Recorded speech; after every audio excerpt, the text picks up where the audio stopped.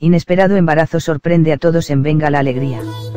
Otro bebé viene en camino y todos festejaron esta noticia. Las últimas integrantes del elenco de Venga la Alegría que recientemente tuvieron bebés son Tania Rincón y Mariana Andrade, pero las buenas noticias no para en el matutino de TV Azteca, luego de que esta semana revelaron un inesperado embarazo que sorprendió a todos aprovechando que el juego sin palabras es el momento más visto del programa, hicieron una pausa para dar el anuncio que dejó a todos sin habla y al enterarse de la buena nueva no les quedó más que correr a festejar que hay un bebé en camino. El productor Adrián Patiño tomó el micrófono y él mismo fue el que se encargó de dar los detalles tras interrumpir la dinámica.